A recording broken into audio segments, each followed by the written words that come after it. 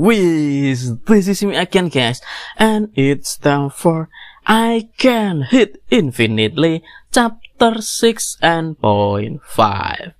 After a week in Henyun Mountain and having to hide from various monsters, Lin Jing and Li Wuxiang finally returned to the civilized world.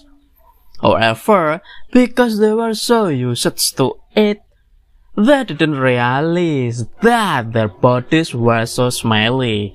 They were both rejected and expelled when they wanted to enter the treasure pavilions and find the antidote for Li Wuxiang poisons.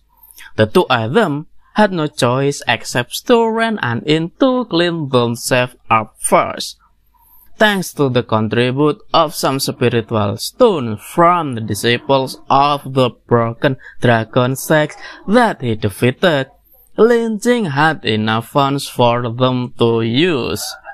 In addition, as long as he delivered Li Wuxiang back to Shek safely, Dry Origin Sect will definitely reward him. And with this reward, Lin Jing can buy various kinds of pills. Lin Jing also has a critical system.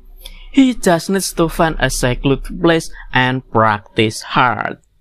Lin Jing then dreamed of reaching the peak of life and marrying a beautiful rich woman, while Li Wuxiang herself felt more comfortable after cleansing herself.